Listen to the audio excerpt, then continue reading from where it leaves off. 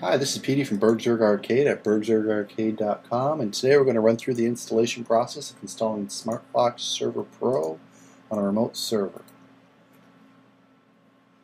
The first thing you're going to want to do is open up a browser and point to smartfoxserver.com go to the home page, uh, select SmartFox Server from the products menu now they have three different versions here. We're grabbing the Pro, but you might want to scroll down to the features table and just take a look at some of the benefits of each package. But we're going to use Pro anyway. Again, something you should read later on, but to keep the video short, we're just going to go to the download section, download the version we need. We're going to be using the 64-bit version of Linux. So we'll download that. We'll also grab the server patch right here. While you're here, take a look at the different licensing prices. If you notice that you get 20 maximum connections for free, this is great for testing. Uh, when you have a small group of people to come on and test your server. Later on when you go live, you are going to want to upgrade to at least 100. That's going to cost you 500 euros. But if your application becomes a little more popular than the 100 maximum connections, you can upgrade to the 500 euros and you'll only have to pay the difference. The same thing when you upgrade to the unlimited, unlimited version. You only have to pay the difference of whatever license you have before that. So keep that in mind. You don't have to go out and get the unlimited version right away. Okay, once you have that downloaded, open up your favorite FTP program. I'm going to be using Coda. Take it and just drop it in. If you notice, I've already done that. Just to keep the video short, upload it to your server. Once you're here, you'll want to go to that directory.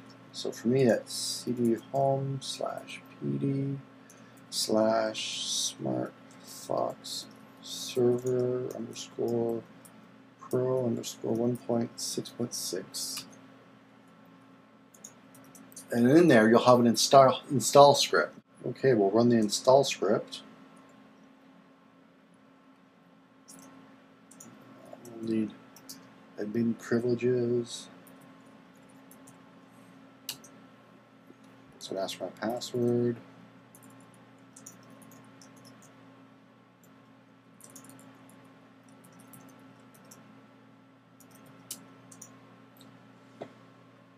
I've already typed it wrong.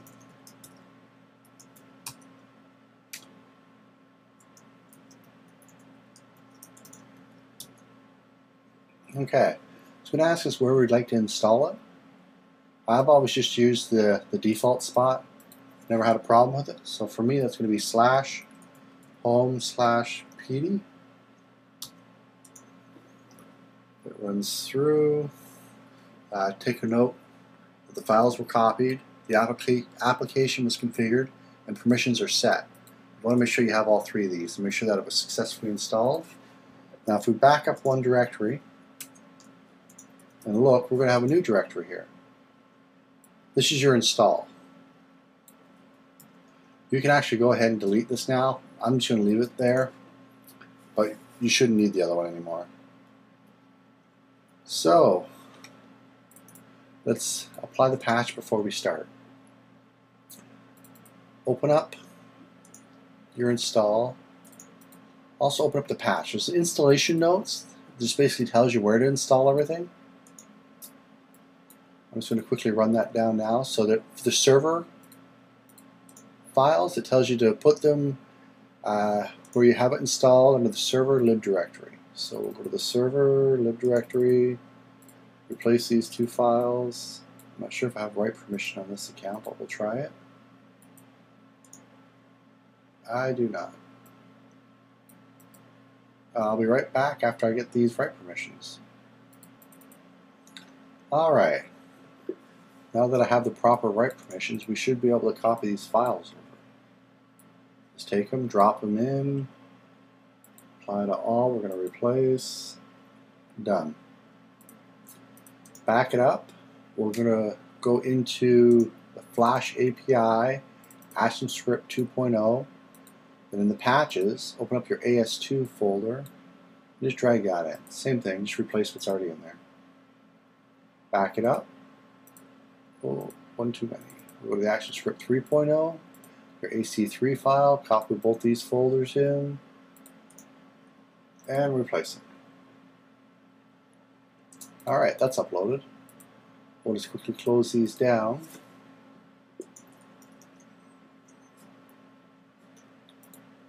Uh, so we're in root, so we'll go to that folder now. So cd slash home slash pd slash smartfox server underscore pro slash 1.6.6. There we go, we're in there. Let's go to the server. capital S. Okay, we want to test to make sure everything installed properly. So we'll go, since I'm running Ubuntu, I precede, precede everything with sudo so I get the administration privileges. Uh, dot slash sfs console. Now what this does is it runs everything out to the screen, all the processes that it starts up. This way here, if anything goes wrong, you're going to be able to see what went wrong, and it's going to give you a little bit more help to debug it so you can get it up and running properly.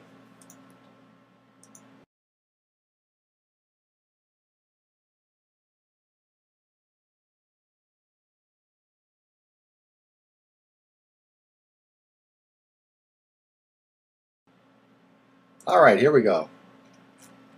If you scroll up to the top of the console, it's going to show you everything that started up. Uh, started the H2 engine. We're probably going to disable that and use a different uh, database, probably MySQL. I'm a little more familiar with it. I haven't really looked into H2 and whether or not it clusters, and we'll look into that a little later on. Uh, the amount of processors, how much RAM it's set aside. It's just going to tell you all the stats, your network card, the licensing that you have, all your zones and rooms. We're going to be getting rid of all of these, if not, well, at least most of them probably all of them. But that'll be a different tutorial when we go to configure our server. But if you look through, you'll notice everything installed properly. Now, if you go to the admin folder of your installation, you'll see that you have uh, a file called admintools.swf. It's a flash file. Copy this up to your desktop. Load it up into a web browser. Uh, put in your IP address. If you're using a local installation, it's going to be 127.0.0.1. Uh, mine's a remote connection to a computer I have running in the basement, so that's the IP of that computer. Your password and username by default is going to be sfs underscore admin. For the password, it's going to be sfs underscore pass. Now you're going to get a warning to change that. We will change it when we go through the config file, but that'll be in, the, in one of the next videos. And while you're here, you can just take a look at some of the stats, everything else that's running, you know, your zones. These are all the different zones. You can go in and take a look. They have rooms in them. And if you had people connected, you'd be able to see what who's connected. Oh, there's lots of good stuff here. Your ban, your logs, all the different extensions that, that you can run for your games. You can get uh, everything you need here for it. Uh, Blue Box, we're not going to be using Blue Box. Uh, there's your config file. This is great for doing very small changes to your config file, but I prefer to actually use a, a little color syntaxing, a little color highlighting. Uh, so we're just going to log out for now. And there you have it. You should have a server up and running. Now we did start it with console. Let's Control Z to kill that Let's give it focus first. Control C. Uh, okay, so that's closed. Let's make sure it's closed. There's three commands that the SmartFox server wrapper understands. We're in the server folder, so we'll do sudo dot slash SmartFox server or SFS status. This will tell you the status of your server. Currently not running. There's also start. There you go. And if you do status again, it tells you it's running. There's restart. This will go in and stop your server, then restart it for you again.